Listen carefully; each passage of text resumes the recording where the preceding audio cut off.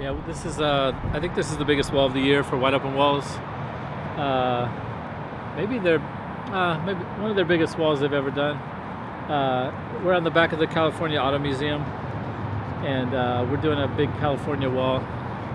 Uh, so there's 10 letters in California. Each artist is doing uh, is doing a fill-in for the letters, kind of like the one at Sac State last year that said Sacramento. Uh, this one is uh, probably more than twice as big. It's pretty huge.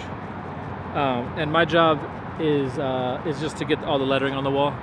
So every letter will be a different artist. So if you look at the R, you'll see an artist, uh, an, artist's work inside of each letter.